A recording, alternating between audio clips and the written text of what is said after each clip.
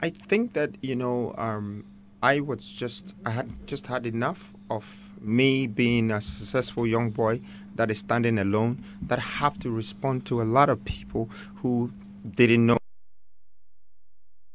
Some were loving some were admiring but i realized that the problem is not all these three things that i just mentioned.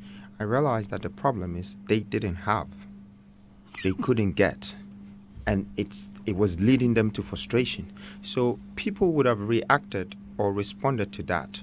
But I realized that when people are vulnerable and they're in a state that they need help or they need a change in their life, he who that takes the decision to move forward and help them would become the hero, would become the legacy of the, those generation of people. And so I looked at that and uh, it moved me from the business world, the corporate world, and went straight into the leadership world.